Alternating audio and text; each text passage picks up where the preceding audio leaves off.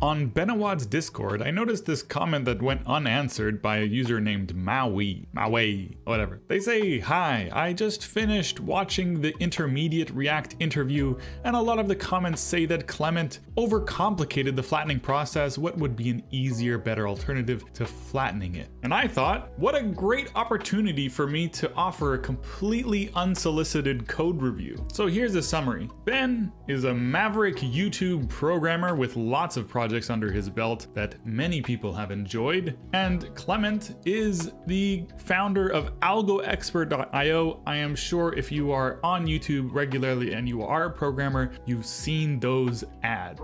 Ben recently released a video where he conducted an intermediate level React interview with Clement, who was the prospective candidate. The interview lasted about 45 minutes, and the first thing that I'm going to do is I'm going to look at the final result of the code and then offer any suggestions based on what I know. And the hope is that people that watch this video will learn just a little something. So this is the prompt. To ping this API endpoint, which would retrieve a list of users and some details about those users, and then display this table, which has all this location data. The columns must be sortable, and there's a search box here where you can search for things. The first thing that you should do is to go and take a look at the information that you have been given. And in this case, we have Code Sandbox, which not much there. Hopefully, if you are being given an examination on Code Sandbox, that you would have been given some resources on how to use it, or maybe given some time to prepare at least. And then the second thing is this API endpoint. First question that I had was, does this API endpoint have any documentation whatsoever? And given it's randomuser.me, I'm guessing that this is a very popular resource and there's gonna be lots of documentation. So here we are on the randomuser.me website. It's got lots of stuff here. It's got a how to use, which uses jQuery, so we're not gonna use that. And it's got a sample of the results, but they have something even more important, which is the documentation. Hmm. Now they have some interesting stuff here like formats, so we can actually request this to be in JSON, in a pretty JSON, in CSV, YAML, or XML. We can already see that we're using this query param results equals 20. So throwing that into the browser, we can see what the output is. And let's add other things like format CSV. Oh, it downloaded a CSV. What about XML? Yeah, okay, we got XML. And we have now the CSV as well. Location, street number, state, street name, lots of good stuff. But you can see the table is already organized in the way that Ben wanted it. So this might have been a shortcut that wasn't taken advantage of. But we're not gonna look at what could have happened, we're gonna look at what did happen. So we have an enum for sort directions, we have fetch data, which uses Axios, we have a function called flatten locations, which I think the user on Benawad's Discord was talking about. Extract object keys, sort data, get next sorting direction, get filtered rows. Now already I'm seeing a really nice trend where these function names already make sense. I actually don't need to look at what these are doing because I have an idea given the function name. This is already a good sign. Then we have an app and it returns a table with heads and bodies and all that. It's about 198 lines long. The first thing that I'm going to do is I'm going to remove this fetch data from here and put it into its own file because this really doesn't have anything to do with this React component. And then something I'm going to do along with that is this stuff here, this processing of the data actually doesn't need to be done here at all. It can be done as part of our fetch data file. So here we have the result, which is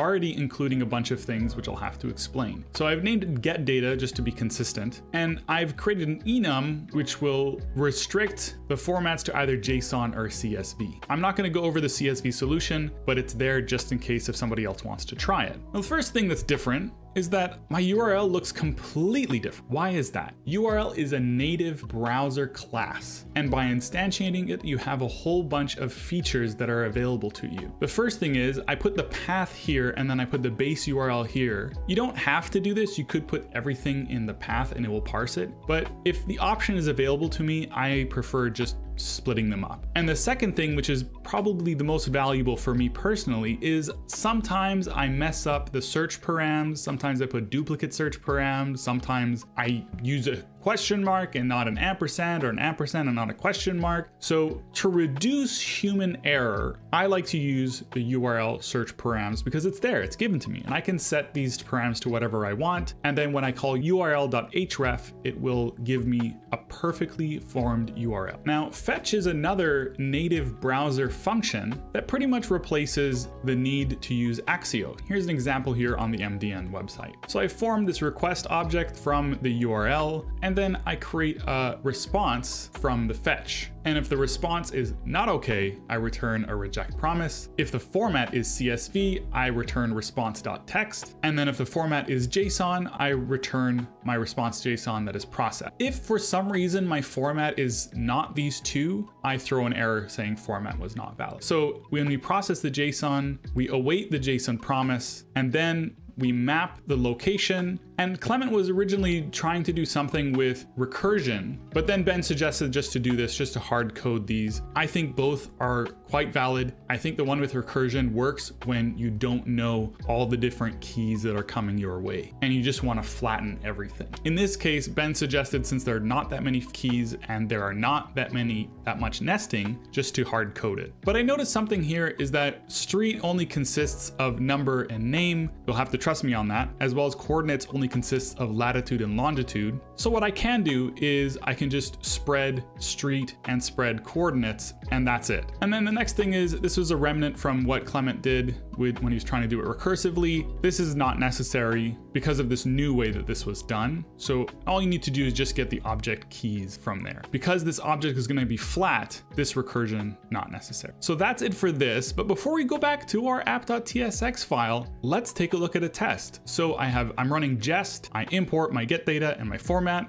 and then I have a test that gets the JSON. I could have made this expected result a little bit more sophisticated, but for now, you get the point. So when I get JSON, I expect the results to equal this expected result. Wait, no, this isn't right. Wait, oh, oh, no, it is right, never mind, cool. And when I get CSV, I expect to get a string back. And when we look at the tests tab, we see that everything passes. Now, looking at the app.tsx file, a lot of it is actually quite similar. I removed a lot of dead code, and there's not that much that is actually different between the original code that was written by Clement and this code here. I'll just go through it a little bit here. First off, I changed the sorting directions into integers. It makes it a little bit simpler down below. The next big change is using INTL collator. This is another native browser class that I have only used for one thing, and that is for comparing string. In Clement's code, he was grabbing the values from a given key and then based on the sorting direction, he had these if statements that would return either negative one or one. With INTL collator, this